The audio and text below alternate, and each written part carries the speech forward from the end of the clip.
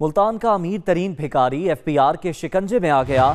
शौकत भिकारी के बच्चे महँगे स्कूल में पढ़ते हैं और एक करोड़ रुपए की बीमा पॉलिसी करा रखी है।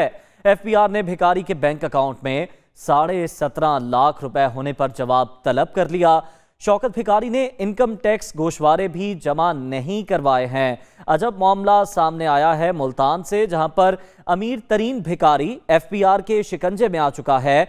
इंकशाफ ये हुआ कि शौकत भिकारी के बच्चे महँगे स्कूल में पढ़ते हैं और एक करोड़ रुपए की बीमा पॉलिसी करा रखी है।